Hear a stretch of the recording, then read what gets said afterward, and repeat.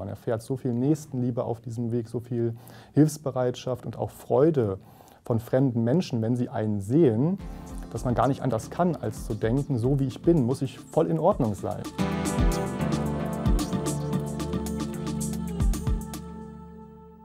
Reisen, die Welt sehen, am liebsten all-inclusive und alle Sorgen werden einem abgenommen.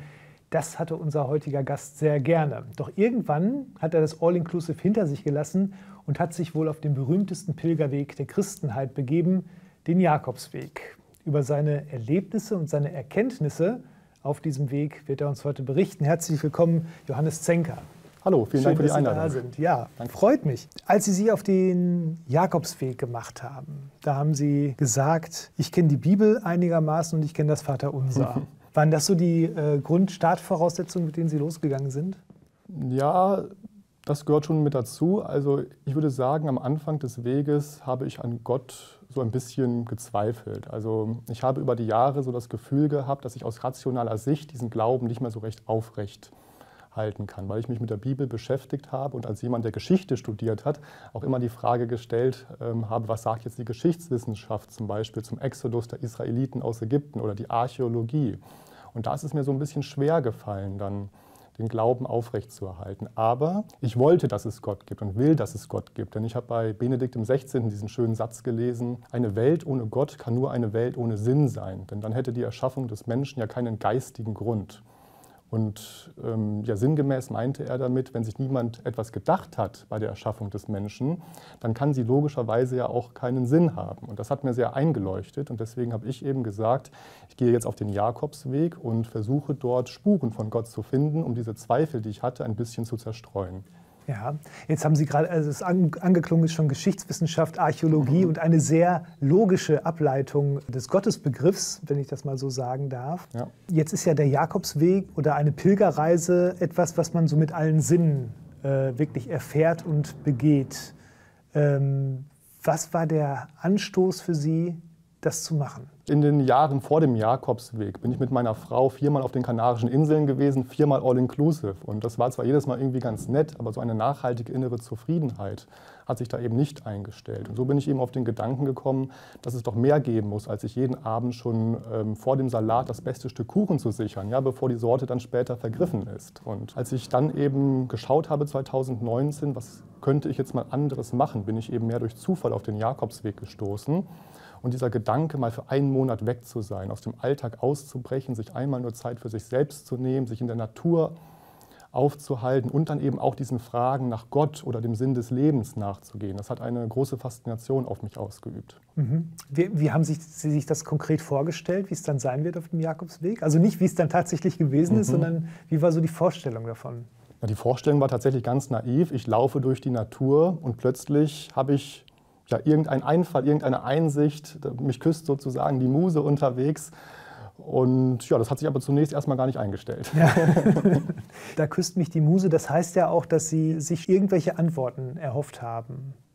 Ja. Und die Fragen haben Sie gerade auch schon so ein bisschen angedeutet. Wenn Sie das jetzt nochmal konkret machen würden, was waren die Fragen im Vorfeld Ihrer Reise? Also für mich war die Frage vor allem, gibt es Gott, beziehungsweise wie kann ich ihn finden? Also wie gesagt, ich hatte diese Zweifel so in meinem Kopf, aber wollte gerne wieder zu ihm finden. Und weitere Fragen waren eben, hat das Leben einen Sinn? Muss man Angst vor dem Tod haben? Und eben die existenziellen Fragen. Ja, und dann äh, Vorbereitungen treffen, aufbrechen. Wie, äh, was haben Sie da gemacht? Also wer jetzt auf den Jakobsweg gehen möchte, wie muss man sich präparieren? Ja, eigentlich muss man viele Sachen neu kaufen, also Rucksack, vernünftige Hosen, vernünftige Socken, natürlich Wanderschuhe. Und ich war zum Beispiel auch einmal in einem Schuhgeschäft und habe dann den Wald vor lauter Bäumen nicht mehr gesehen, weil es da mehr unterschiedliche Schuhe gab, als es irgendwie Shampoos für Haare gibt. Und bin dann da frustriert wieder rausgelaufen und habe gesagt, ich laufe jetzt einfach in meinen Alltagsschuhen los. Die sitzen wie angegossen, vielleicht schützt äh, mich das so ein bisschen vor der Blasenbildung und habe mich dann eben recht blauäugig ähm, auf den Weg gemacht. Habe mir den Rucksack von meinem Bruder geliehen, den Fahrradponcho für Regentage von meiner Frau, ja, und die Schuhe und meine Unterwäsche, die stammten aus dem eigenen Bestand. Ja, also das nehmen, was da ist.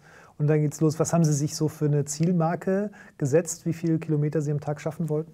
Ähm, da hatte ich keine Zielmarke. Ich hatte auch den Rückflug noch nicht gebucht, bevor mhm. ich mich auf den Weg begeben habe, sondern habe das auf mich zukommen lassen. Also einfach los. Genau. sozusagen einfach ins Blaue hinein. Also ich hatte schon grob im Kopf, das wird wahrscheinlich fünf Wochen irgendwie dauern. Das war am Ende dann auch so, aber ich hatte da jetzt nicht den Druck, einen Tag mehr oder ähm, früher ankommen zu müssen. Von wo sind Sie gestartet? Ähm, ich bin von Irun aus gestartet. Also es gibt ja mehrere Jakobswege. Mhm. Ich glaube, die meisten Menschen verbinden mit dem Jakobsweg immer den Camino Frances, den zum Beispiel auch Harpe Kerkeling mhm. gelaufen ist und beschrieben hat. Aber dann gibt es eben noch viele andere Jakobswege. Zum Beispiel den Camino del Norte, den ich gelaufen bin. Der führt eben direkt an der spanischen Atlantikküste im Norden Spaniens entlang. Und das Meer an seiner Seite zu haben, das ist natürlich ja, unglaublich schön. Und deswegen habe ich mich unter anderem auch für diesen Weg entschieden. Und Irun ist eben ein ja, kleines Küstenstädtchen direkt an der spanisch-französischen Grenze. Und mhm. dann führt der Weg so circa 830 Kilometer Richtung Santiago de Compostela. Größere Städte sind zum Beispiel Santander, Bilbao oder auch San Sebastian. Mhm. Jetzt haben Sie gerade schon gesagt, dass sich die äh, Antworten auf Ihre Fragen nicht direkt eingestellt haben, ja. um das mal vorsichtig zu sagen. Mhm.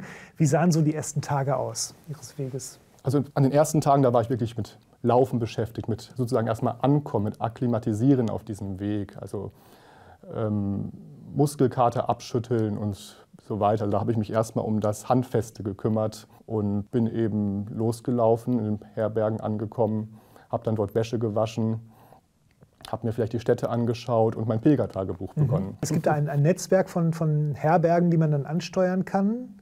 Und dann bekommt man auch diese Pilgerstempel in seinen Pilgerpass, wenn man das möchte, glaube ich. Ne? Ja. Und äh, so kann man sich so äh, diesen Weg entlang wandern. Genau, es gibt Pilgerherberge, teilweise öffentlich betriebene, teilweise auch private. Die kosten dann die öffentlichen meistens so 5 Euro. Teilweise sind sie auch auf Spendenbasis. Das heißt, jeder kann so viel zahlen, wie er möchte. Denn ähm, es steckt ja ein solidarischer Gedanke auch hinter dem Pilgern. Also jeder Gläubige, der pilgern möchte, der soll das auch können. Ne? Das soll kein Luxusvergnügen sein. Ja. Und diese Stempel, die braucht man tatsächlich, um dann auch Zutritt zu haben zu diesen relativ günstigen mhm. Unterkünften. Ja, also dass man nicht irgendwie Tourist ist oder so und das dann in Anspruch nimmt, sondern dass man wirklich als Pilger auf dem, auf dem Weg ist. Genau. Wann hat sich das denn so geändert, dass Sie gemerkt haben, jetzt bin ich ganz gut im, im Laufen, jetzt bin ich ganz gut im Flow, jetzt bewegt sich vielleicht auch was in mir, jetzt setzt sich da was frei. Also es gab immer mal wieder so Momente, auch schon in den ersten Tagen, wo ich durch Zufall einfach inspiriert wurde von Begebenheiten am Weg. Also ich glaube am vierten, fünften Tag, da habe ich mir einen Friedhof angeschaut. Ich dachte mir einfach, hier ist ein Friedhof in Spanien, kenne ich nicht, also schaue ich mir das mal an. Und dort bin ich direkt durch zwei ähm, Wände hindurchgelaufen, wo Grabnischen waren in diesen Wänden. Also es sah ein bisschen aus wie in der Gerichtsmedizin. Und das Besondere war, dass an jedem, jeder der Klappe, hinter der sich dann diese Grabnischen befinden, ein Foto des Verstorbenen hing oder der Verstorbenen. Das kenne ich von Deutschland so nicht. Und diese Menschen, die haben nicht traurig geguckt oder betrübt, sondern natürlich freundlich, weil es einfach normale Passfotos wahrscheinlich gewesen sind, die die Angehörigen da ausgewählt haben. Und da ist schon sowas in mir in Gang gesetzt worden, dass ich irgendwie das Gefühl hatte, der Tod ist ja gar nichts so Schlimmes. Und dann habe ich mir eben überlegt, eigentlich gibt es ja nur zwei Alternativen. Entweder wir landen bei Gott und alles ist gut, oder aber wir verpuffen in irgendeinem Nichts und können uns aber genau darüber nicht mehr beklagen. Also das waren immer wieder so kleine Momente, wo ich dann eben ja, zu dem Schluss gekommen bin, der Tod ist eben nicht der Feind des Menschen, sondern nur der Feind des Lebens.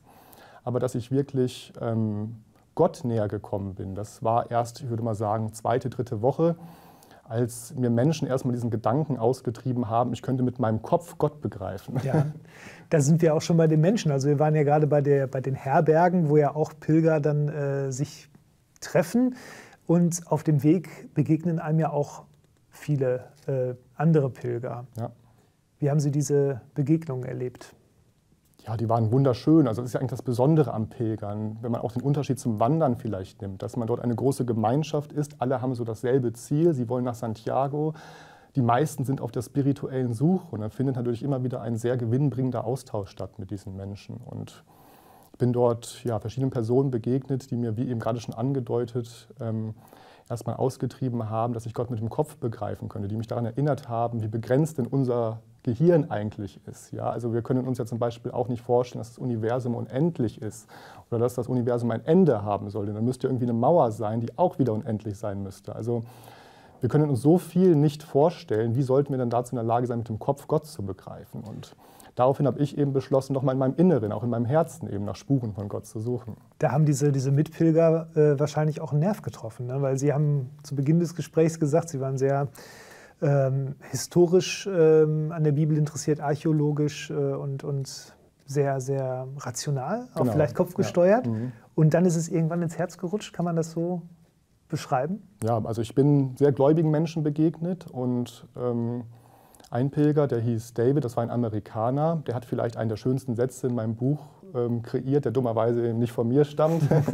die, der hat geschrieben, die Zeit mag alle Wunden heilen, doch auf dem Jakobsweg verheilen sogar Narben. Sein Bruder hatte vor 10, 15 Jahren Selbstmord begangen. Und diese ganz akute Trauer ist natürlich irgendwann in den Hintergrund getreten. Aber so richtig versöhnt mit dem Leben hat ihn eben erst der erste Besuch auf dem Jakobsweg wieder, als er etwas zurückgewonnen hatte, was er zuvor verloren hatte, nämlich dieses Gottvertrauen, dieses Gefühl, es hat schon alles irgendwie seine Richtigkeit, am Ende wird alles gut und eben, ja, die Wege des Herrn sind unergründlich. Und wenn ein Mensch, den man schätzt, einem sowas näher bringt und dann eben auch sagt, du kannst Gott hier auch begegnen, dann ja, löst das natürlich was in einem aus und sensibilisiert einen nochmal und führt dazu, dass man die Sinne nochmal ganz anders schärft. Ja, so wie Sie das beschreiben, dann klingt das für mich wie so ein Paradigmenwechsel, wie so eine ganz neue Perspektive, die Sie eingenommen haben, auch Gott gegenüber. Ähm, wenn Sie sich nochmal an die Situation erinnern, nochmal da reinspüren, was, was hat das in Ihnen ausgelöst? Was waren das genau für Gefühle, die, die Sie da entwickelt haben in der Zeit? Also es war vor allem eine Belgierin, die mir sozusagen, eine Frau, die mir gesagt hat, Gott mit dem Kopf begreifen, wie soll das denn gehen? Und da habe ich mich erstmal gefühlt wie so ein kleiner Schuljunge, weil ich so gesagt habe, ja, da auf Seite 1173 der Bibel, da passt irgendwas nicht so richtig. Ne? Und dann kam ich mir sehr albern vor in diesem Moment und habe eben überlegt, so komme ich hier wahrscheinlich nicht weiter auf meinem Jakobsweg. Und dann habe ich mich eben versucht, an Glaubenserfahrungen von früher ähm, zu erinnern, beziehungsweise es ist eher zufällig dazu gekommen, dass ich mich an diese Erfahrung erinnert habe. Es gab Momente, im, ich weiß gar nicht, als Jugendlicher oder junger Erwachsener, wo ich nach Treffen mit Freunden das Gefühl hatte, Mensch, hast du jetzt irgendwas falsch gemacht? Könntest du in ein Fettnäpfchen getreten sein? Und könnten die dich vielleicht nicht mehr mögen? Und das waren eigentlich bekloppte Gedanken, aber sie waren so lange präsent, bis ich diese Menschen wieder getroffen habe und eben gemerkt habe, es ist noch alles in Ordnung. Und irgendwann, als ich wieder diese Gedanken hatte, habe ich dann eben mal eine Art Experiment gewagt. Also ich habe zu Gott gebetet und ihn darum gebeten, dass doch bitte diese Gedanken unnötig sein mögen und auch aufhören mögen. Dazu muss man wissen, ich bin christlich erzogen. Ich habe jeden Abend gebetet mit meiner Mutter und das auch weiter betrieben. Also das war jetzt nichts Fremdes für mich zu beten, nur eben so mal mitten am Tag. Das war eher ungewöhnlich. Und das Verrückte ist eben, dass es funktioniert hat. Also direkt nach dem Gebet habe ich noch an diese Gedanken gedacht, aber nach der kleinsten Ablenkung waren sie eben verschwunden. Und abends im Bett, als ich den Tag nochmal Revue, passiert lassen habe, Revue passieren lassen habe, habe ich eben erst gemerkt, Mensch, Gott hat es wieder einmal geschafft. Und ich glaube, viele Menschen kennen dieses Gefühl, dass ihnen der Dialog mit Gott Erleichterung verschafft. Ja, also ich schreibt dann, glaube ich, Gott als Sorgentelefon, das zuhört und hilft, aber eben keine dummen Fragen stellt. Und deswegen bin ich eben so zu dem Schluss gekommen, dass Gott eben doch existieren könnte, weil ich ihn ja selbst erfahren habe. Ich meine, jetzt möchte ich nicht sagen, dass mir der ultimative Gottesbeweis da gelungen ist, weil wahrscheinlich Hirnforscher ihre ganz eigene Erklärung vielleicht dafür hätten, weshalb mein Ritual des Gebets dann immer zum gewünschten Erfolg geführt hat. Aber trotzdem, ich hatte erstmal ein Indiz dafür, dass Gott existiert und habe beschlossen, mich weiter auf diese Suche eher in meinem Inneren auch zu begeben. Und das ist ja tatsächlich auch was, wo es nicht um wie die Belgierin schon gesagt hat, nicht darum geht, Gott mit dem Kopf zu begreifen, sondern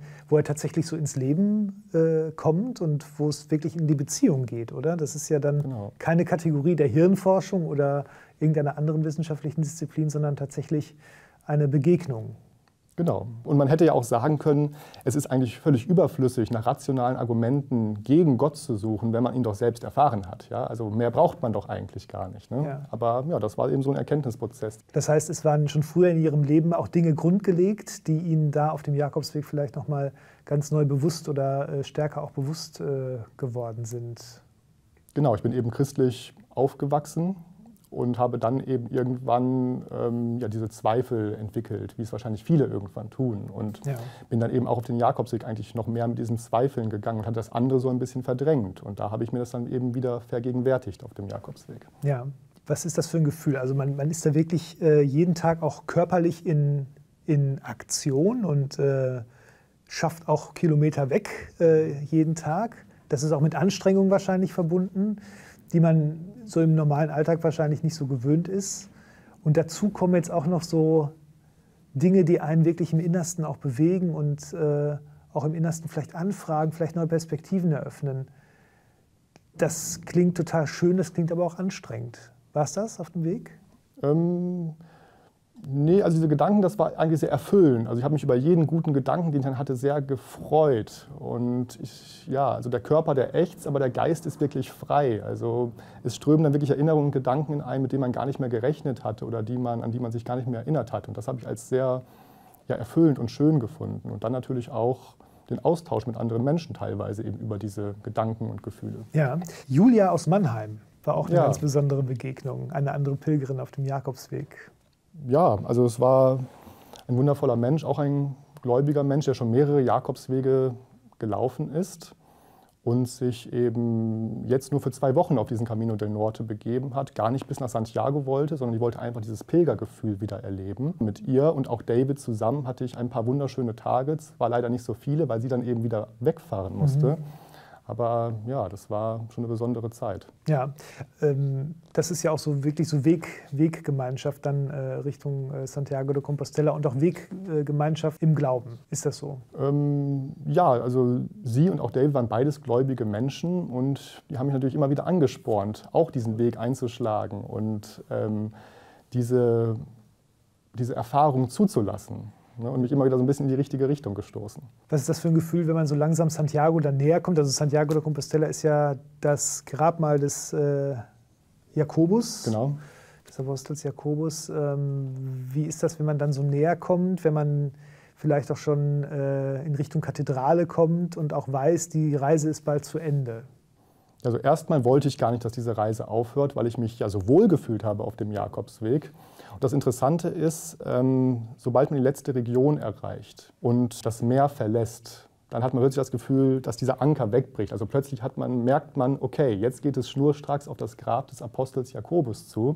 Denn Santiago liegt nicht am Wasser und solange man das Meer an seiner Seite hatte, hatte man immer so eine Sicherheit, okay, ich bin auf dem Weg, mir kann hier noch nichts passieren, ich muss mich gar nicht äh, mit dem Ende beschäftigen. Und ähm, das war dann ja, ein sehr komisches Gefühl. Als man dann Santiago sehr, sehr nahe kam, als der Camino del Nord mit dem Camino Frances wieder zusammentraf, dann war der Weg auf einmal plötzlich sehr voll und der Abschied fiel dann auf einmal dann doch wieder ein bisschen leichter, weil es dann auch gar nicht mehr so schön war. Man hatte diese Momente der Ruhe nicht mehr, die man vorher so sehr geschätzt hatte, als man mit all diesen, ja, mit dieser Kolonne Richtung Kathedrale dann geströmt ja. Also es ist tatsächlich dann ein neuer Abschnitt, wenn das Meer nicht mehr da ist, dann geht es irgendwie in die Einflugschneise, so ja, nenne ich es genau. jetzt mal, und dann beginnt eigentlich ein neuer Abschnitt des, des Jakobsweges nochmal und auch der, der inhaltlich, inhaltlich neue Abschnitt. Ja, so. also gerade im letzten Drittel, da habe ich diese Ich-Erfahrung, die man auf dem Jakobsweg macht, nochmal ganz anders auch gespürt. Also man entwickelt ein sehr positives Selbstbild auf diesem Jakobsweg. Das ist zumindest mein Eindruck. Das ist, glaube ich, die stärkste Kraft dieses Weges, finde ich. Einmal ähm, entwickelt man eine sehr positive Beziehung zu seinem Körper, weil der natürlich Unglaubliches leisten muss. Und ich will nicht sagen, dass ich vorher ein negatives Körperbild hatte, aber ja, ich hatte einfach gar keins. Ne? Und plötzlich hat man ein positives. Und das Gleiche gilt auch für den eigenen Charakter. Man erfährt so viel Nächstenliebe auf diesem Weg, so viel Hilfsbereitschaft und auch Freude von fremden Menschen, wenn sie einen sehen dass man gar nicht anders kann, als zu denken, so wie ich bin, muss ich voll in Ordnung sein. Ja? Also mir ist eine Frau um den Hals gefallen, die ich gar nicht zuordnen konnte. Aber die war einfach so erleichtert, mich nach drei Wochen mal wiederzusehen, weil sie zuvor in den Tagen kein bekanntes Gesicht getroffen hatte, dass sie einfach ja, glücklich war, mich zu sehen und mit mir dann diese üblichen Pilgergespräche geführt hat. Also wenn wir uns vor drei Wochen gesehen haben und heute, warum haben wir uns dann vor einer Woche nicht getroffen? Wo bist du da gewesen? Und so entstehen dann eben solche schönen Momente und Gespräche. Es ist dann auch so, man fühlt sich im Einklang mit sich selbst, einmal mit seinem Körper als auch mit seinem Charakter.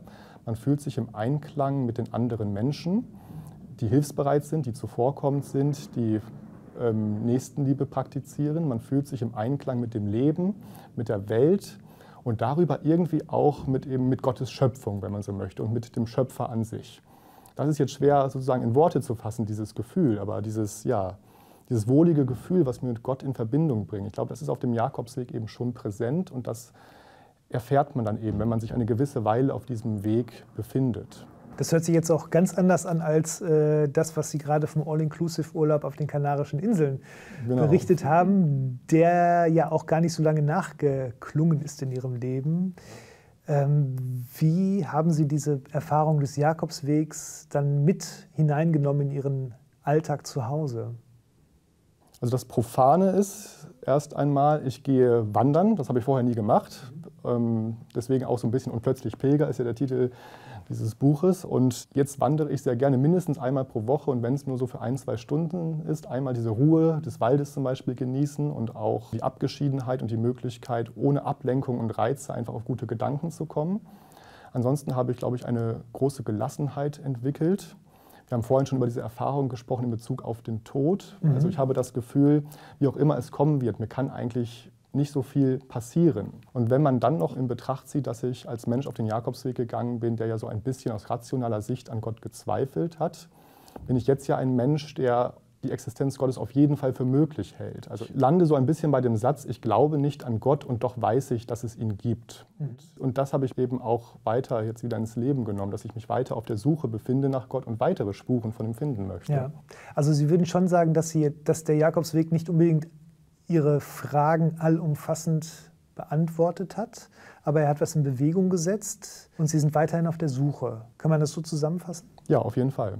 Also ich bin auf viele Gedanken gekommen, mit denen ich nicht gerechnet habe. Ich habe von anderen Pilgern sehr viele ähm, Ratschläge bekommen und sehr viele Inspirationen empfangen, neue Perspektiven eingenommen, womit ich so nicht gerechnet hätte. Deswegen ja, war das nicht nur eine körperliche Reise, sondern auch eine ja, Reise zu mir selbst. Und das ist schon ein tolles Ergebnis, dass da nicht alle Fragen sozusagen zu 100 Prozent beantwortet sind. Das hatte ich so auch, glaube ich, gar nicht erwartet. Ja, ich bin sehr glücklich darüber, dass ich eben diesen Weg zu Gott schon mal wieder eingeschlagen habe, mich erinnert habe an äh, frühere Glaubenserfahrungen oder aber eben auch dieses Gefühl auf dem Jakobsweg gehabt zu haben, hier ist so eine gewisse Präsenz vorhanden, die ich gar nicht erklären kann so ja. richtig. Ne? Also ja. das Gefühl, dass man doch Gott dort irgendwie erfährt. Aber ob das nun wirklich ähm, an Gottes Anwesenheit liegt oder eben an unserer Wahrnehmung. Ich glaube, das muss am Ende eben jeder selbst dann herausfinden. Ja, und wir nehmen auf jeden Fall mit, dass sich viel löst und viel in Bewegung gesetzt werden kann auf diesem langen Weg. Sie haben auch ein Pilgertagebuch geschrieben und Sie haben auch äh, ein Buch verfasst. Das ist unheimlich wertvoll und ich danke Ihnen sehr für Ihr heutiges Zeugnis und hoffe, dass Sie ganz vielen Menschen Lust gemacht haben, auf den Jakobsweg zu gehen oder zumindest auch mal in die Natur zu gehen, wandern zu gehen und etwas in sich bewegen und lösen zu lassen. Vielen Dank, Johannes Zenker. Vielen Dank für das Gespräch. Und auch bei Ihnen bedanke ich mich, liebe Zuschauer, für Ihr Interesse an der heutigen Sendung und würde mich freuen, wenn Sie wieder einschalten, wenn es heißt Bibel TV, das Gespräch. Machen Sie es gut. Tschüss.